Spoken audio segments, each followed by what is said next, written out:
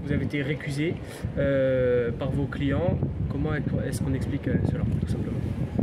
Alors c'est assez simple finalement à expliquer. En réalité, ce procès a démarré euh, il y a plus de deux semaines.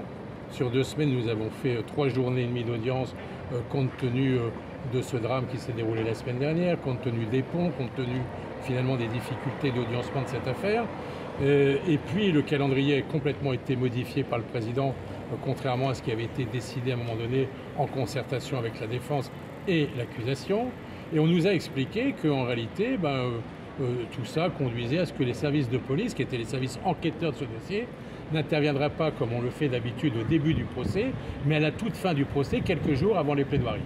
Donc bien évidemment, euh, ceci est source d'inéquité et de procès totalement inéquitable.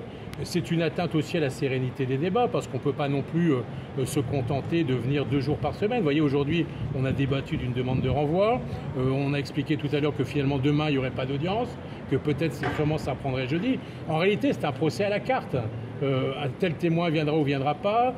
D'autres témoins, les policiers essentiellement, ne viennent pas. Pourquoi? Ben, Parce qu'on nous explique qu'on ne peut pas décaler leur audition. En réalité, ils sont en vacances, sont en congé. Et pourquoi prennent-ils leur congé en ce moment? Parce qu'il y a les Jeux Olympiques qui suivent. Donc ils doivent être disponibles pour les Jeux Olympiques. On a expliqué à la Cour d'assises qu'ils devaient être disponibles pour la Cour d'assises et pas pour les Jeux Olympiques. Et manifestement, c'est un gros mot. Euh, on ne nous entend pas là-dessus. On nous dit, bah, écoutez, on verra bien euh, au fur et à mesure, au fur et à mesure du, du, déroulement de ce planning, qui se présentera, qui ne se présentera pas. Et coûte que coûte, il faut juger les accusés. Donc on a une date butoir qui est le 4 juillet. Pendant deux mois, on vous a donné deux mois pour les juger, peu importe comment, mais en tout état de cause, ça doit se tenir. Alors on a dit en défense non. Nous ne sommes pas des alibis, nous ne sommes pas des avocats qui viennent s'asseoir et pour euh, euh, participer finalement à une justice euh, qui, qui n'en est pas d'une. Donc nos clients nous ont récusés et ils se sont vus commettre des avocats commis d'office qui ne connaissent pas le dossier.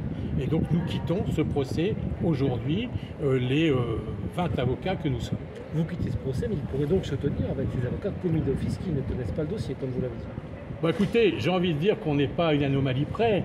Ça serait fou quand même que ce procès se tienne et se continue avec des avocats qui ont été désignés ce soir et qui peut-être verront leurs clients demain pour avoir une première audience jeudi matin. Ce dossier représente 30 à 40 tomes. Euh, L'instruction a duré euh, près de 7 ans. Donc c'est quelque chose d'inimaginable. Mais vous voyez, il y a une sorte de rouleau compresseur. Il faut que ça se tienne. Alors peu importe comment la justice euh, se rend, comment elle se tient, il faut qu'elle soit rendue.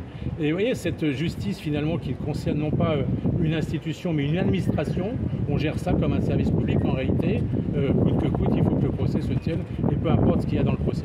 Le président évoquait quand même la notion de délai raisonnable. Euh, juger 8 ans après des faits euh, euh, ces accusés, ce serait encore plus long. Écoutez, le délai raisonnable, ça, ça a choqué personne, que ça fait, ça fait 7 ans qu'ils sont en prison. Ça choque personne. Alors qu'on vienne nous exploser maintenant le délai raisonnable à la figure en nous disant, écoutez, le délai raisonnable justifie que ce procès tienne, c'est finalement se moquer un peu des accusés quand même. Non, merci.